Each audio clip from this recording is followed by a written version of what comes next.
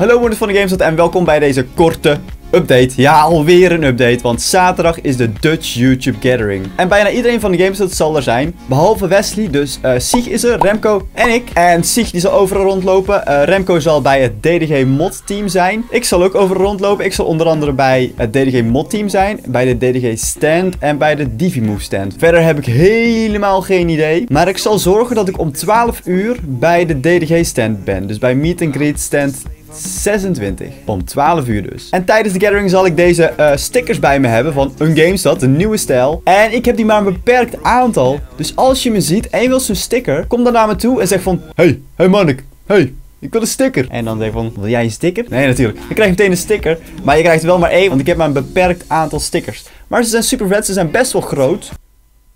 En je kan ze daar op je shirt pakken of je kan ze op je computer plakken zoals ik hier heb gedaan. Maar dat was alweer deze korte update. Morgen zal Wesley weer een video uploaden. En dat zal iets te maken hebben met de nieuwe Witcher game, The Witcher 3.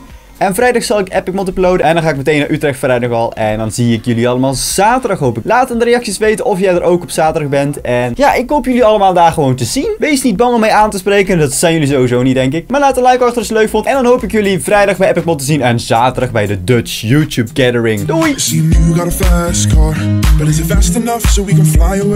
We gotta make a decision. We leave tonight or live and die this way.